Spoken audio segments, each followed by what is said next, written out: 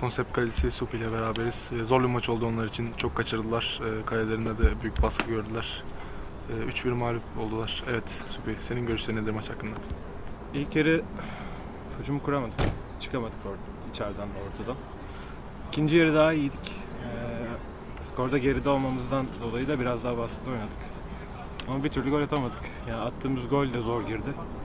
Golleri bulamayınca da kontra ataktan yedik son golü. İkinci golü de kontra ataktan yedik. Ee, artık yani zaten pek şansımız kalmadı herhalde grupta. Galibiyetimiz de yok. Diyecek başka bir şey de yok. Evet teşekkür ederiz. İyi akşamlar. İyi akşamlar.